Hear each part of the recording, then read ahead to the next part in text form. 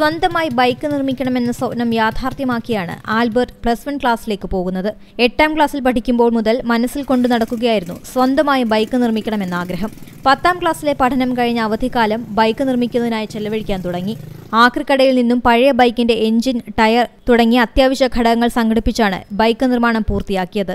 അത്യാവശ്യമുള്ള എഞ്ചിന് ടയർ പിന്നെ കോൺസെപ്റ്റ് വീൽ അതൊക്കെ ആക്രിക്കടയിൽ നിന്ന് ശേഖരിച്ച് ബാക്കി കാര്യങ്ങളെല്ലാം പി വി സി ഷീറ്റൊക്കെ വളച്ച് അല്ല കട്ട് ചെയ്ത് തന്നെ ചെയ്തതാണ്. എല്ലാം തന്നെയാണ് ഫിറ്റ് ചെയ്തത്. പിന്നെ ഈ വണ്ടിക്ക് ടാങ്ക് ഇല്ല.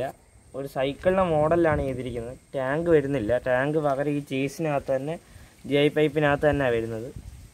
വേറെ ഇലക്ട്രോണിക്സ് യൂണിറ്റ് കാര്യങ്ങളെല്ലാം നമ്മൾ ചെയ്തത്. നമ്മുടെ സ്വന്തം ഡിസൈനാണ്. ഇരുമ്പ് പൈപ്പാണ് പെട്രോൾ ടാങ്കായി പ്രവർത്തിക്കുന്നത്. നീളത്തിലുള്ള രണ്ട് പൈപ്പുകളിൽ പെട്രോൾ നിറയ്ക്കാൻ പറ്റും. അൻപത് കിലോമീറ്ററിലധികം മൈലേജ് ലഭിക്കുന്നുണ്ട് ആൽബർട്ട് നിർമ്മിച്ച ബൈക്കിന്. പി വി സി പൈപ്പ് ഉപയോഗിച്ചാണ് ലൈറ്റ് നിർമ്മിച്ചിരിക്കുന്നത്.